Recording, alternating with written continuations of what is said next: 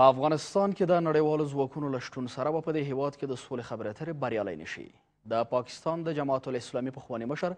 قاضي حسین احمد په یو خبري کانفرنس کې چې د ایران پاکستان او افغانستان یو شمیر مذهبي مشران پکې راټول شوي وو د دې مطلب په څرګندولو سره وایي د له ولسمشر کري سره هم په دې اړه خبرې اترې کړې دي چې د بهرنیو ځواکونو له شتون سره افغانان نه یوځای کیږي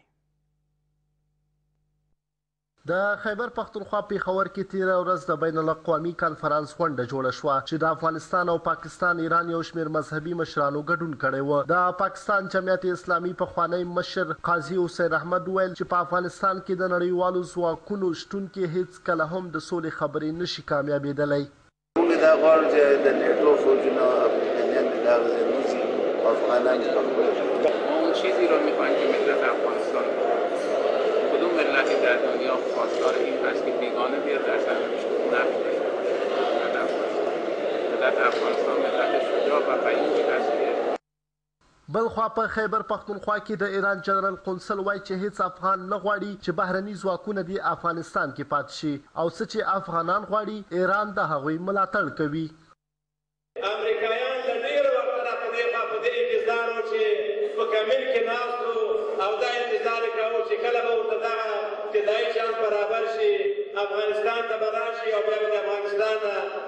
په دې منطقه او په دې خطه باندې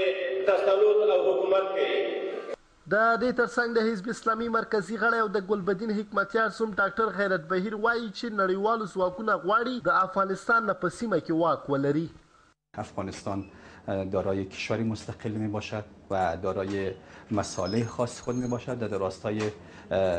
مصالح و منافع علیای خود در واقع تصمیم می گیرد و ارتباط به کشورهای دیگر ندارد و دولتمردان کشورهای دیگر و افراد و رهبران مذهبی و غیر مذهبی پاکستان هم باید از مداخله در امور کشوری مستقل میز افغانستان پرهیز کند. د یادونې وړ ده چې د افغانستان او امریکا د ستراتیژیکو همکاریو د سند د امضا کېدو نه وروسته په پاکستان کې یو شمېر مذهبي ډلو غونډو ته زور ورکړی دی. عبدالحق عمري، طلوع نیوز، خیبر پښتونخوا.